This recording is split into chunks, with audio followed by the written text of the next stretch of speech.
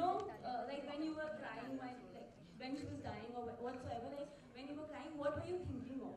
Like I really want to know that because the point is, at the end of the movie, that's when I started crying. Like it was like the entire impact that I got at the end of the movie when I started crying, and it was beautiful.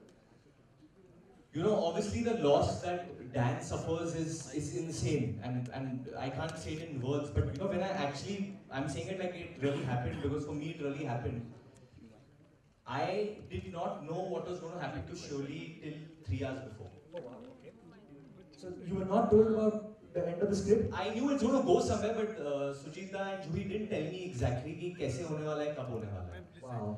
And uh, so when I entered the room, uh, when I see Diva, who's uh, sister, I see her crying, and I see uh, mother crying. I still remember that it was so haunting because जब वो it was a single shot me I walk and I go in and I see her on the bed lying so when I saw them crying I forgot my own pain because what can be more uh, what can be more hurtful than a, a mother losing a daughter? Yeah, I mean I don't think so. Any mother gives birth to a child thinking that the child will go away before them. So that I mean, anytime I would see the mother and Shiuli together, that I mean I would forget my own pain. I would forget my own. Uh, what I am, whether I'm a hero in the film or whatever. I just felt that I, I want to make this lady smile somehow. I want to make Shiuli smile somehow.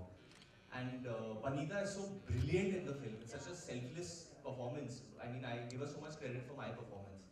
So I think wo, I was I actually started thinking about the family and I, I started thinking about my family. I just felt ki if tomorrow something like that happened and my mom I had to go through this. Nothing shall happen to you, Varun.